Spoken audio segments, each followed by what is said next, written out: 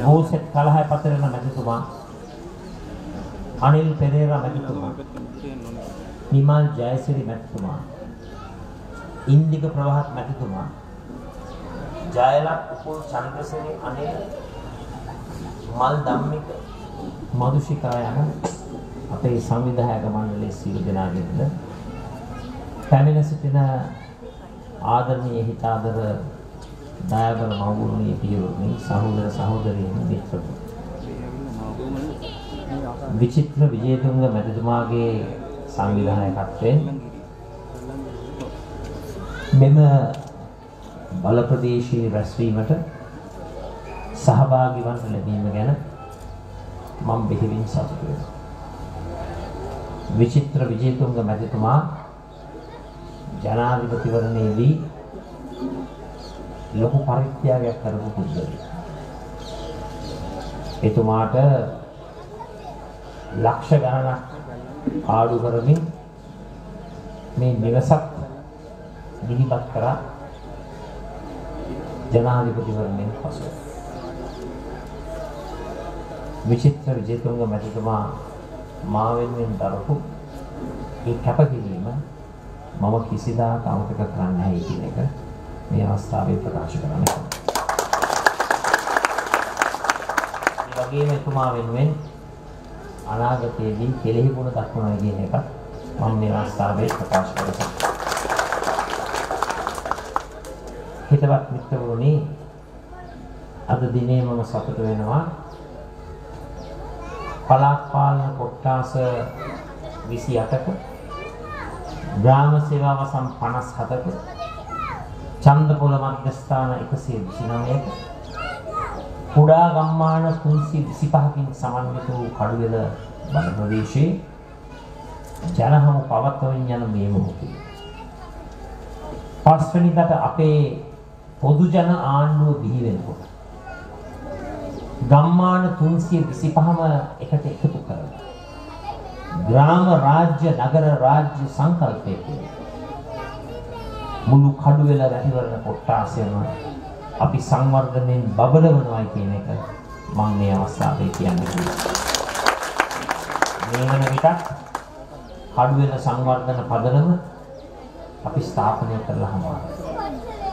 ඒ හරහා COVID-19 ක්‍රියාත්මක වුණු කාලය තුල අපි අතුරුගිරිය රෝහලට, කලංගම රෝහලට, ඒ වගේම නවදුමු රෝහල මේ තුනටම ලක්ෂ ගණනක් වටිනා වෛද්‍ය උපකරණ පරීක්ෂා කළා.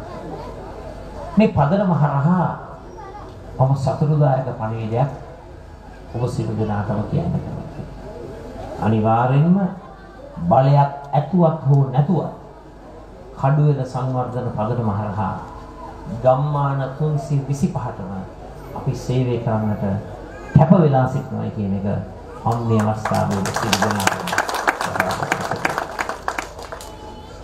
හිතවත් මිත්‍රවරුනි අද කඩුවෙල මැතිවරණ කොට්ටාසේ ගම්නියම් ගම් නගර සිසාරා යනකොට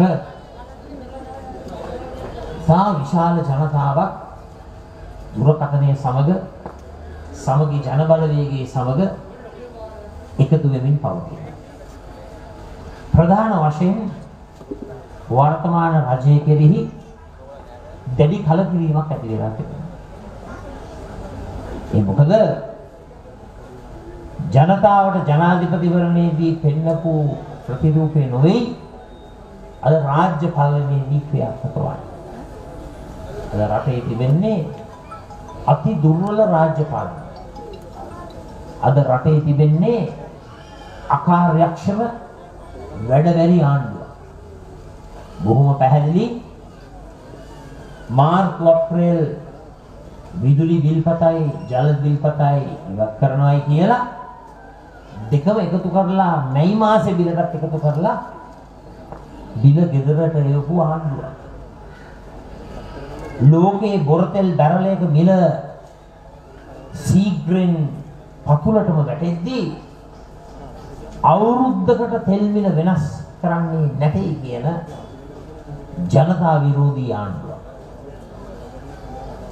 කොරෝනා වෛරසය නිසා කඩා වැටුණු ආර්ථිකය ගොඩනැගීම වෙනුවෙන් මේ රටේ පෞල් සම්පත 5000ට 10000ට තක්සේරු කරපු අසීලාචාරාණ ඒ විතරක් නෙවෙයි 104 පොලියට සහන ණය ලබා දෙනවයි කියලා ඒ වැඩපිළිවෙල ප්‍රවෘත්ති හෙඩ්ලයින් වලට විතරක් පසුදා ප්‍රවෘත්ති පත්තරයට විතරක් සීමා කරපු ආණ්ඩුව.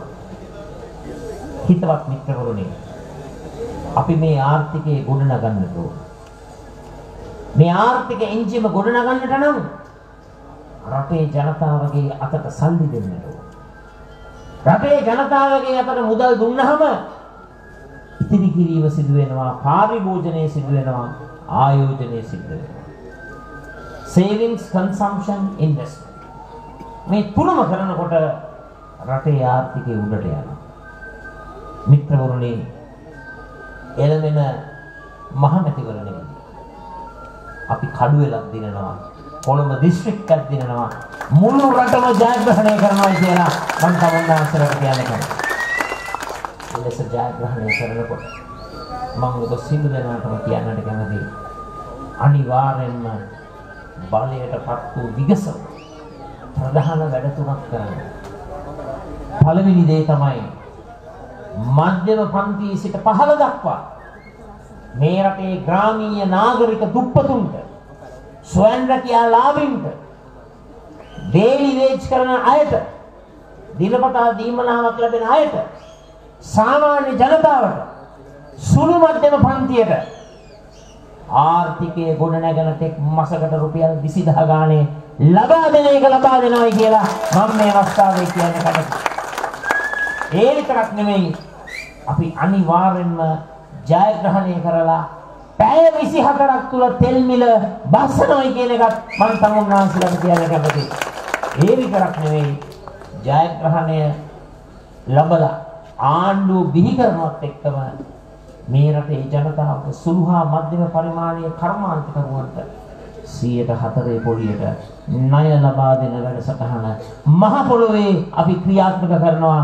හෙඩ්ලයින් වලට පමණක් සීමා කරන්න ප්‍රවෘත්ති නිවේදන වලට පමණක් සීමා කරන්න තමුන්නාන්සලාගේ මුදල් පසුම්බියට දැනෙන ආකාරයට ඒ 104 සහන පොලී ණයක් ලබා දෙනවා කියන එක මම මේ අවස්ථාවේ තමුන්නාන්සලට කියන්නේ ඒක තමයි අපේ සහන පැකේජ්.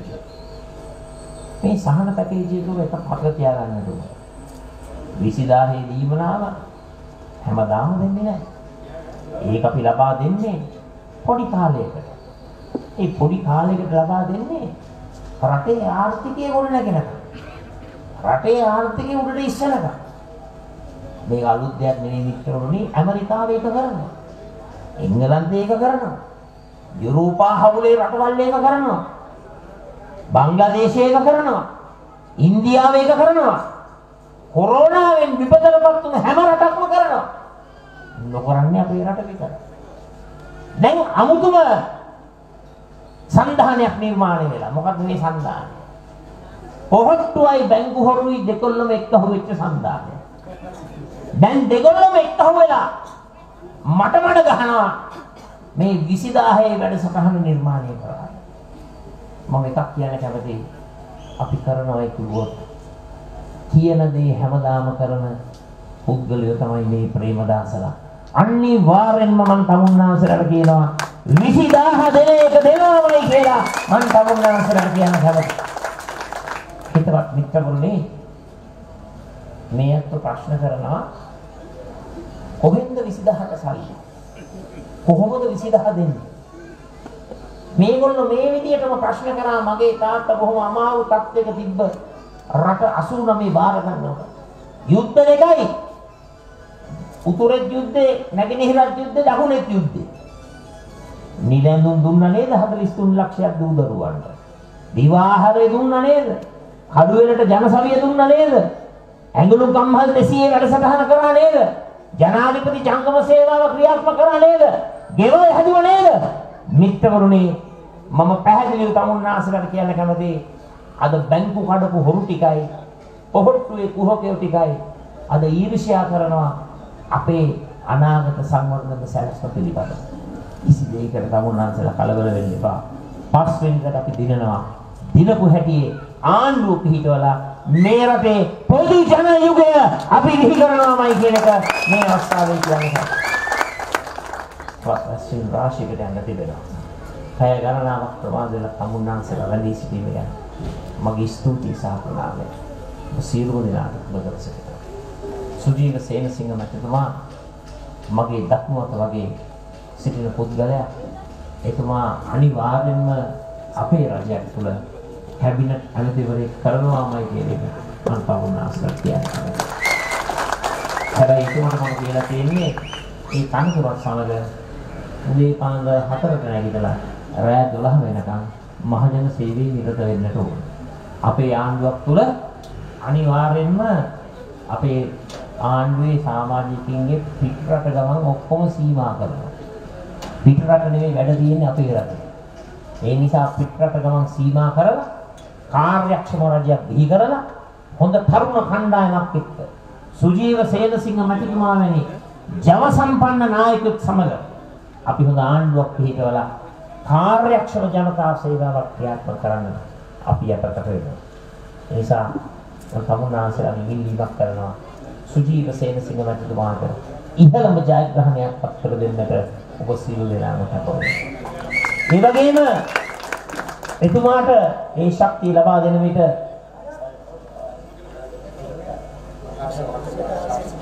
ඒ වගේම අද දිනේ මේ රැස්වීම මාලාවට හිරුනිකා ප්‍රේමචන්ද්‍ර මැතිණිය සහභාගී වුණා. මම එතුමියට කියන්නේ යකඩ කාන්තාව, යකඩ මාතාව. ඕනම අභියෝගයකට මුහුණ දෙන්න පුළුවන් හොඳ දක්ෂ කාර්යක්ෂම කාන්තාව. එතුමියට තමුන්නාන්සලගේ සහයෝගය ලබා දෙන්න. අපේ ආචාර්ය හර්ෂද සිල්ව මැතිතුමා හොඳ දක්ෂ උගත් බුද්ධිමත් පුද්ගලෙක් අපේ කණ්ඩායමට නව ආලෝකයක් ලබා දෙන පුද්ගලෙක්. එතුමාට තමුන්නාන්සලගේ සහයෝගය ලබා දෙන්න. මමත් කණ්ඩායමේ නායකයා හැටියට ඉදිරිපත් වෙනවා කොළඹ දිස්ත්‍රික්කයෙන්. මගේ අදහස සුජීව සේනසිංහ මැතිතුමත් සමග ග්‍රාම රාජ්‍ය නගර රාජ්‍ය සංකල්පය ඔස්සේ කඩුවෙල මැතිවරණ කොට්ටාසේ ගම් 325ම දියුණු කිරීමේ වගකීම සුජීව සේනසිංහ මැතිතුමත් සජිත් ප්‍රේමදාසත් බාර ගන්නවා කියන එක මේ අවස්ථාවේ කියන්න කොළඹ දිස්ත්‍රික්කයට හැම මැතිවරණ කොට්ටාසයකටම ලංකාවේ සියලුම මැතිවරණ කොට්ටාසවල ගම්නියම් ගම් සිසාරා කාර්ය සාධක සංවර්ධන බලකායක් පිහිටවලා රටේ අගමැතිවරයාගේ ප්‍රමුඛත්වයෙන් ජාතික සංවර්ධන ක්‍රියාදාමය අපි සවිපක්ෂ ක්‍රියාත්මක කරන්නට කටයුතු කරනවා. ඔබ සියලු දෙනාගේම හයි අපිට ලබා දෙන්න. මෙදා පාර දුරකථනයේ උඩින්ම දිනවන්න. දුරකථනයේ උඩින්ම දිනවනකොට මම මතක් කරන්න කැමති අපේ ඇමතිවරයෙක් ඉන්නවා. අපේ වීරවංශ ඇමතිතුමා. එතුමාට දොළ දුකක් තියනවලු වැඩිම මනාප ගන්න. මම කියන්න කැමති සජිත් ප්‍රේමදාසටත් තියෙන දොළු දුක. ඒක තමයි වැඩියෙන්ම කඩු වෙලා කොළඹ දිස්ත්‍රික්කේ මුළු ශ්‍රී ලංකාවේ ගෙවල් හදලා 20යි 25 සැමට සෙවන ලබා දීමේ දොළ දුක අනිවාර්යෙන්ම සජිත් ප්‍රේමදාස සම්පූර්ණ කරනවා 20යි 25 වෙනකොට. රවුන්නාන්සලාගේ නිවාස ප්‍රශ්නයට විසඳුම් ලබා දීම මගේ නායකත්වයෙන් මම ක්‍රියාත්මක කරනවා කියන එක මේ අවස්ථාවේ ප්‍රකාශ කරමින් සියලු දෙනාටම තෙරුවන් සරණ පතමින් විචිත්‍ර විජේතුංග මැතිතුමා ප්‍රමුඛ සංවිධායක මණ්ඩලයට අපේ ස්තුතිය පුද කරමින් අපේ විචිත්‍ර මැතිතුමා ජනාධිපතිවරණයේදී ඒ කරපු කැපවීමට අනිවාර්යයෙන්ම අපි ප්‍රතිපකාර කරනවා කියන්නේ සියලු දෙනාටම ජය වේවා ජය ශ්‍රී.